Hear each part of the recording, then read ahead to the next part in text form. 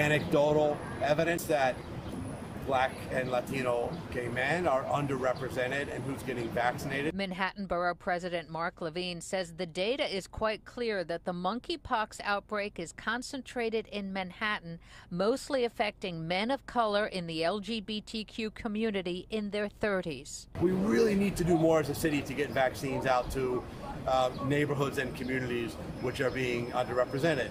According to the New York City Department of Health, 20% of those infected with monkeypox are black, 24% Hispanic, and 28.5% white.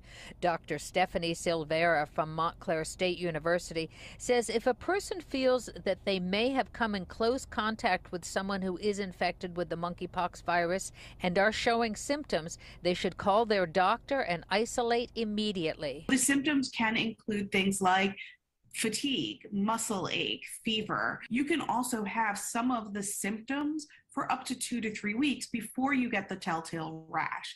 And so we need to be really mindful of if you are not feeling well, stay at home. It is not particular to gay men or the behavior of having men having sex with men. So once it starts to spread outside that community, we can see this spreading into what we consider the more high risk populations, which include young children and pregnant women. The doctor says the monkeypox virus can be transmitted through skin to skin contact, droplets, and shared bedding, towels, and utensils.